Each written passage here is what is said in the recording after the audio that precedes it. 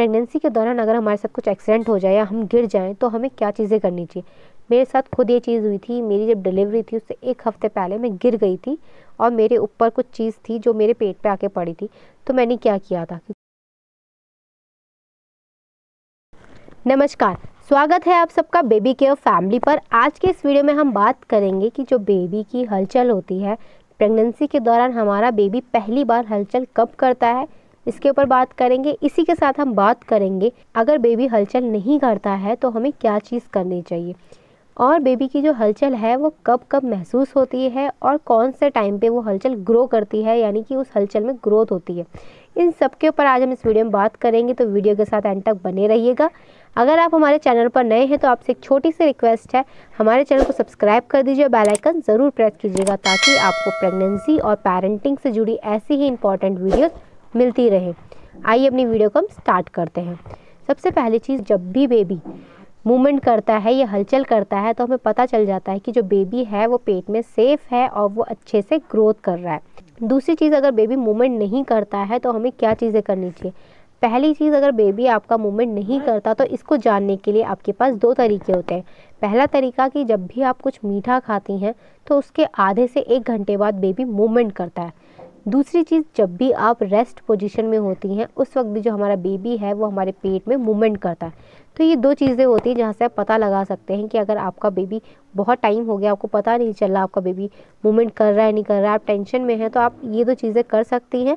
इससे आपको पता चल जाएगा कि आपका बेबी मूवमेंट कर रहा है या नहीं कर रहा है। बट अगर आपका बेबी मूवमेंट नहीं करता है तो आपको तुरंत जाके डॉक्टर के पास दिखाना चाहिए डॉक्टर से बात करनी चाहिए। इसके साथ ही जो बेबी की पहली हलचल होती है, वो हमें अपनी प्रेगनेंसी के चौथे महीने के एंड में पता चलती है।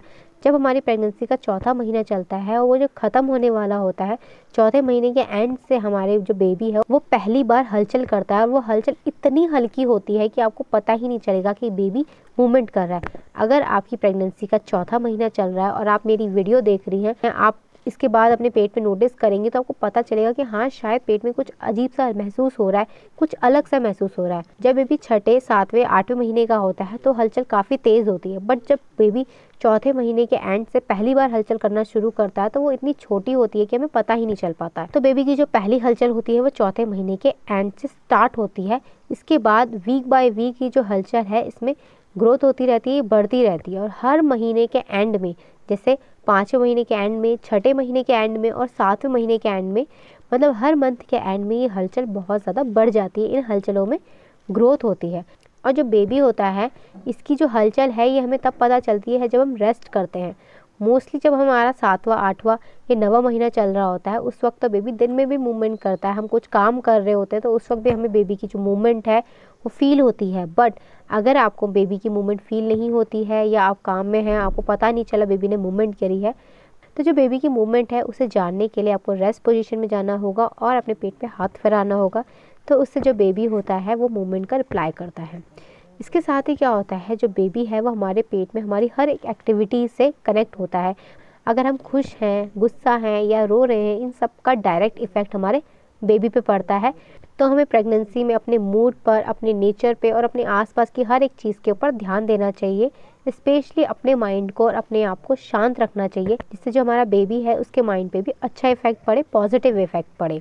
दूसरी चीज़ जो हमारा रेस्ट करने का टाइम होता है, उस वक्त बेबी की मूवमेंट इसलिए भी बढ़ती है क्योंकि जब हम आराम कर रहे होते हैं तो बेबी को स्पेस भी मिलता है अच्छे से घूमने का। क्योंकि बाकी टाइम पे जिस टाइम कुछ मूवमेंट करते हैं या कोई काम करते हैं, उतना प्रॉपरली मूवमेंट नहीं कर पाता बट जिस टाइम पे हम रेस्ट करते हैं, उस वक्त बेबी सबसे ज़्यादा एक्टिव होता है और उस वक्त बेबी सबसे ज़्यादा मूवमेंट करता है। आपको प्रेगनेंसी के दौरान अपने पेट पे हाथ फैरा के अपने बेबी के साथ बातें भी करनी चाहिए। बेबी आपकी आवाज़ सुनता है, आपके साथ कनेक्ट होता है। प्रेगनेंसी भी एक ऐसा टाइम है जहाँ पे अपने बेबी के साथ कनेक्ट हो सकते हैं। डिलीवरी के बाद भी आप देख सकते हैं कि जो बेबी है वो आपकी आवाज़ पे कितनी जल्दी रिएक्ट करेगा, क्योंकि पूरी प्रेगनेंसी के दौरान आपने उससे बात की होगी। पूरी प्रेगनेंसी के दौरान बेबी ने आपकी आवाज़ सुनी होगी तो उन सारी चीज़ों का इफ़ेक्ट बेबी के ऊपर रहता है। और बेबी के साथ जो आपका कनेक्शन है वो प्रेगनेंसी से ही बनना शुरू हो जाता है। प्रेगनेंसी के दौरान अगर हमारे साथ कुछ एक्सीडेंट हो जाए या हम गिर जाएँ तो हमें क्या चीज़ें करनी चाहिए? मेरे साथ खुद ये चीज़ हुई थी, मेरी जब डिलीवरी थी, उससे एक हफ़्ते पहले मैं गिर गई थी और मेरे ऊपर कुछ चीज़ थी जो मेरे पेट पे आके पड़ी थी। तो मैंने क्या किया था? तो मैंने तुरंत आराम किया और पेट पे हाथ फिरा के बेबी की मूवमेंट चेक की सबसे पहले। अगर आपके साथ कुछ भी होता है तो आपको सबसे पहले अपनी बेबी की मूवमेंट देखनी चाहिए।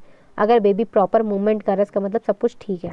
अगर बेबी मूवमेंट नहीं कर रहा तो उसका मतलब बहुत बड़ी प्रॉब्लम है और आपको तुरंत जाके डॉक्टर के पास बात करनी चाहिए। तो आपको तुरंत जाके डॉक्टर के पास दिखाना चाहिए।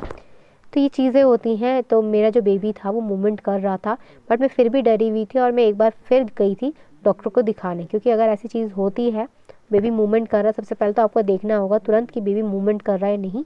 उसके बाद तुरंत जाके आपको डॉक्टर के पास दिखाना होगा। आशा करती हूँ हमारी वीडियो आपको पसंद आई होगी तो प्लीज़ इस वीडियो को लाइक और शेयर ज़रूर कीजिएगा ताकि औरों की भी हेल्प हो सके। हमारी वीडियो को पूरा देखने के लिए आप सबका धन्यवाद। मिलते हैं आपसे नेक्स्ट वीडियो में, तब तक के लिए अपना ध्यान रखिएगा।